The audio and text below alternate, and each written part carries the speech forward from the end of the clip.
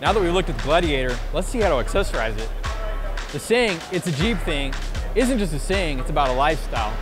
Every Jeep owner likes to accessorize their Jeep a little bit differently. We know a couple guys that really know how to accessorize a Jeep. Let's go check them out.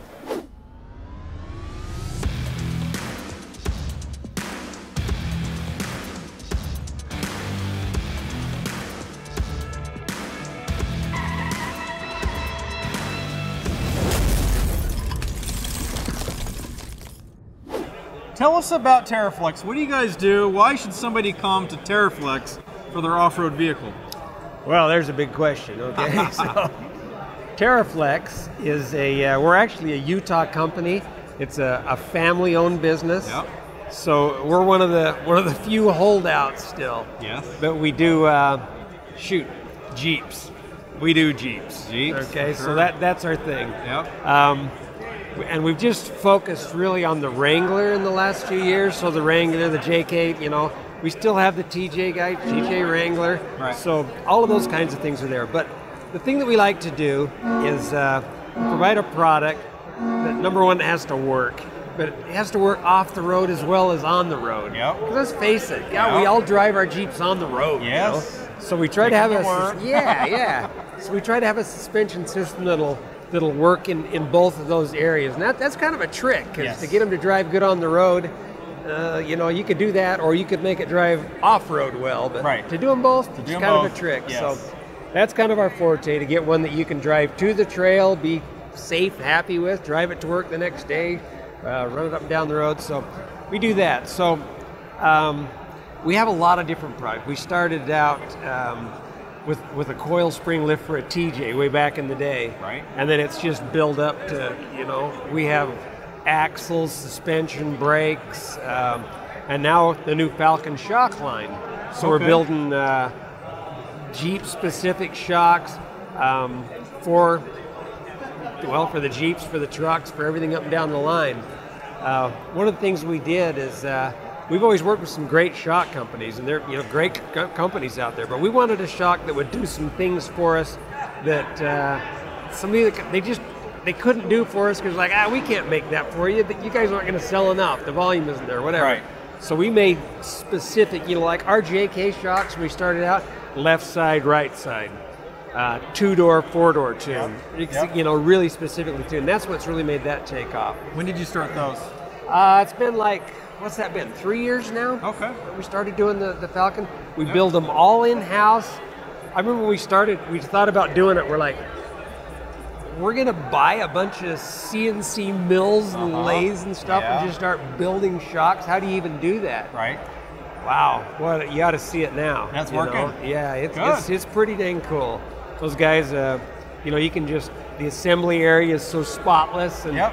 And it's just cool because they're building them all in house. Yeah, uh, you do. You know, even there. all the fixtures on it are all machined there and everything. It's uh, it's uh, it's been quite an endeavor. So, Tell us what you have here. What frame is this, number one? okay, this this is a JL frame. JL, we just okay. went out and bought one, Yep. just a frame. All right. And then we just uh, What are you showing cleaned it off up here? because the you- welds were awful. what are you showing off here today? What new products? What do you have going? Okay. Uh, front end, this is uh, our Tera 60. Okay, so we have the 60s front and rear under it. But we did a couple of weird things on it. This side has got the full float 8 lug, and the other side has got our 5 on 5 bolt pattern for, for a JKJL. Okay. So we're just showing both sides there. Types, yep. And same with the wheels, because this is our, our Nomad wheel that we did. You've, you've seen those, right? Where you you can You showed this open last this year, guy yep, up drain that. it out. Yes. so there's your air down, fill Yep. it back up. So Yep. we've got those for eight lug now. That's new for this year. Yep. So um, then on the uh, the suspension, uh, our new IR bushings are the bushings that actually allow the arm to rotate around the bushing. It isn't a solid rubber bushing, so it gets rid of one of the load points on a bushing. You Yeah. rotate and not, you know, wind the bushing up before you twist it. Right. So anyway, long arm on this side, short arm on that side, uh, all the way back on it. Okay. Uh, Anything else this- you can show me? Yeah, this long arm kit's a bolt on, so that's that's a departure for us. Uh, these frames are really tricky to weld to, so we're uh, we changed them up to a to a bolt on, which saves a lot of labor as well.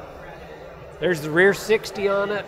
Um, the Falcons. On the JLs, the shocks moved to the outside of the frame, and so we're able to put the adjustments up on top on it. See them. that? Yep. But you notice that one doesn't have the big old red knob on it. Nope. That's because that's our, our new ADAPs. So these are uh, elect- electronically controlled. So we can switch from soft to firm with just flipping a switch. Really? Here's That's one over here. so, so here's the switch. It's going to be a little. It goes up in the in the grab handle. That switch goes up and has this little piece that goes in there. So there's the switch. It goes soft, firm, and auto. Three different settings. Yeah, so the auto setting, there's actually a an, uh, an accelerometer in there. So as soon as your Jeep hits a bump, it senses it and it says, "Oh, we need to firm that shock up so that you can, you know, it isn't going to bottom out and whatever." Yeah. So you can, uh, or even if you go around a turn, you can be nice and cushy, having your nice ride, but then you want to rally that turn, Right. instantly beefs them up. You can make the rally turn. Auto for that. That's Yeah. amazing. Yeah, so trying to make these shocks so that they're not so hard to deal with. You just put it on auto and it works. I like it. So, yeah, lots of fun stuff on this one this year. Um, Well, you guys are doing really exciting things. Of course, I'm a little biased. You guys are right in our backyard, but um, you know, made in America.